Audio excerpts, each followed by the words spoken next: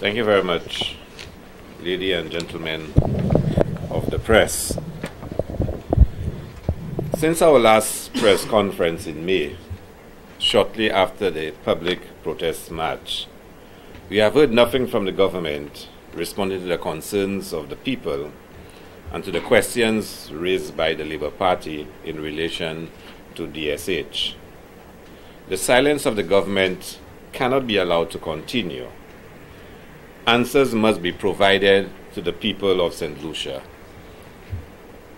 We recall the Prime Minister had stated that phase one of DSH had been signed, sealed, and delivered with the developer. Yet, we cannot get responses to some of the basic questions which were asked.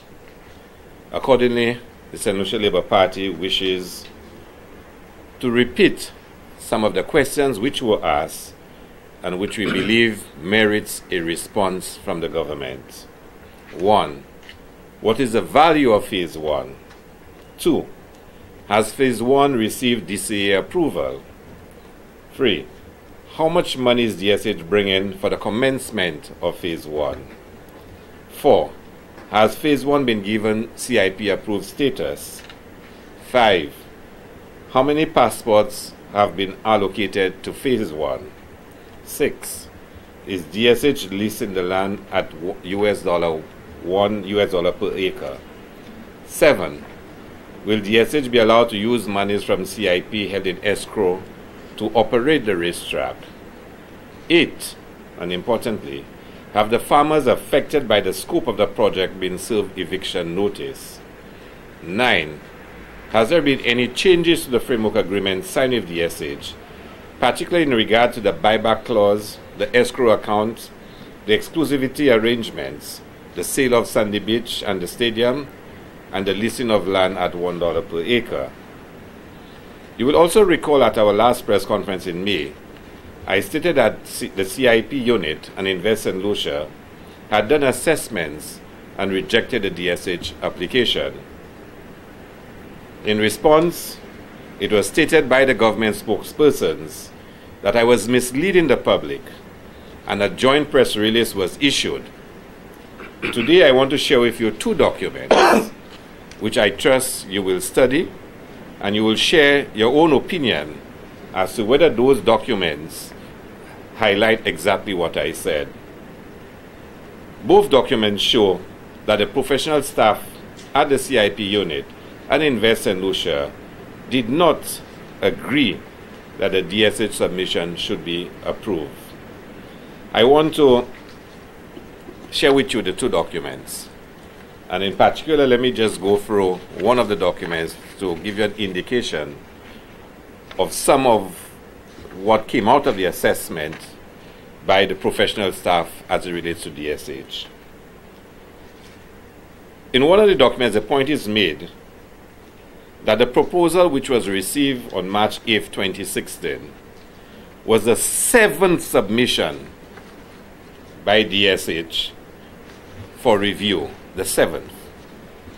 And the comment is made that one common feature of all the previous submissions and the present one is that the project would not qualify under the current legislation and that you will see in the document when you review it for yourself. It is noted in the document that the CIP regulations provides for some measure of CIP financing and equity financing, and that in the submission, almost 90% is CIP, and the balance is equity put in by the developer, of which most comes in the form of his professional fees, in effect saying that he's really not putting any money up front. In the submission for phase one, the gross development cost, which is the actual cost of construction and establishing the infrastructure, is 340 million US dollars. 340 million dollars. The developer claims that during construction, between 500 to 800 employees will be at the site, During the operational phase, for the racecourse operation, there will be 150 persons. For equine husbandry, 3,000 persons. Retail and F&B, 2,000 persons. Hospitality and gaming, 2,000 persons. That's the submission by the developer. And the assessment of the team says it is important to note that despite the employment figures given, the developer has not provided any details on the operational aspect of the project in which the employment figures are based. The assessment goes on, and that's where it's really important for you to know this point. Remember, the gross development cost is 340 million US dollars. Based on the value of the CIP units required, there is a need for 990 CIP units. So he says the development cost is X, he's put in 10%, so he's supposed to get 990 CIP units, which essentially is passports. However, the developer is asking for 1,843 CIP units, which value is 553 million US dollars.